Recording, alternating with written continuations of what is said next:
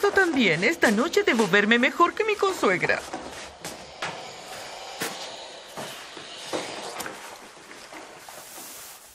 ¿Cómo estás, cuñada? No tan bien como tú, según veo. Asille, ¿dónde está Tajir?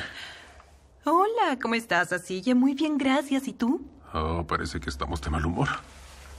Sí, cuñado. Podría romperle la cara a alguien.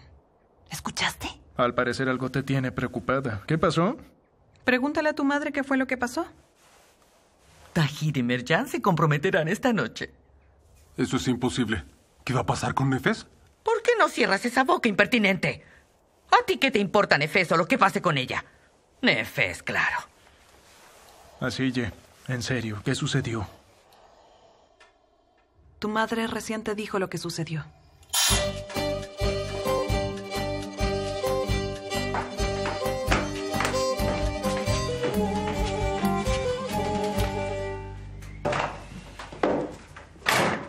¿Y a ti qué te pasa? Ya me tienen aburrida. Todos me preguntan a mí. Cuenta de una vez lo que pasa, Mustafa. Convertimos a Nefes en una devora hombres porque lo dijo Isan. No porque lo dijo ella. Tú misma viste la foto, cariño. Por favor, Mustafa. Ella no es esa clase de mujer. Ese guardia que aparece con ella en la foto, bueno, quizás era un amigo de ella, un Oh, pariente. mi dulce esposa. Las cosas no funcionan de esa manera. No estamos seguros de nada. No podemos culparla por eso. Nefes no es un ángel, porque siendo casada estaba abrazando a otro hombre.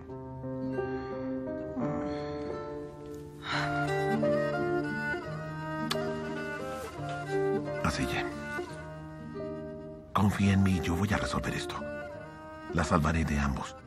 De Tajir y del maldito de. Pero mantente fuera de esto, por favor. ¿Te asegurarás de que esté a salvo, Mustafa? Sí, lo haré, lo prometo. Ese maldito no puede acercarse a ¿Lo ella. escuchaste? Dije que lo prometo. Sí.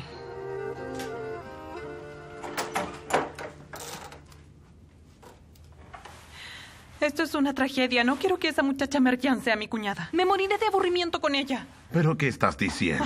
Camina, camina.